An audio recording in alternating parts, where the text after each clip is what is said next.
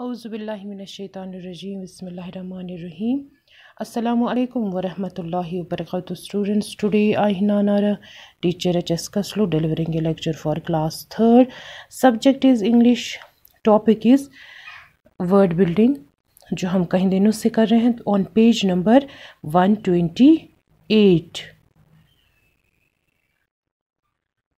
आपकी text book का page number 128 and आज हमें जो करना है that is question number six add L Y to make a word make a new word L Y एक वर्ड दिया गया है हमें बुक पे, उसको हम एल वाई ऐड करना है और एक नया वर्ड बनाना है।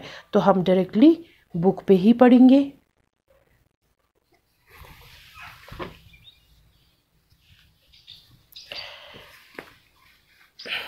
ये देख लीजिए। Add L Y to make a word ठीक है? The pair of new shoes और लव तो एल वाई इसको ऐड करना है दैट इज़ लवली ठीक है?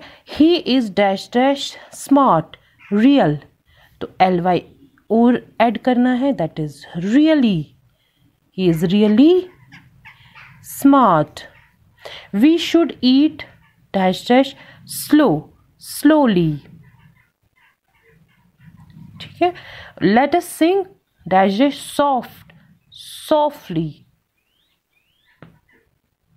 ठीक है?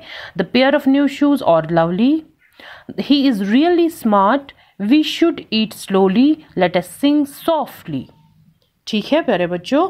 तो question number seven is add I S H to make a new word words दिए गए हैं। इसमें हमें आई एस एच एड करना है और एक नया वर्ड बनाना है। That girl is always crying she is child I S H add करके she is childish okay I slipped on a banana peel I feel fool foolish F O O L I S H foolish. That girl is always crying. She is childish. I slipped on a banana peel. I feel foolish. ठीक है that is all आज के लिए इतना ही काफ़ी कल हम इस और क्वेश्चंस करेंगे आगे तब तक के लिए अल्लाह हाफिज़ थैंक यू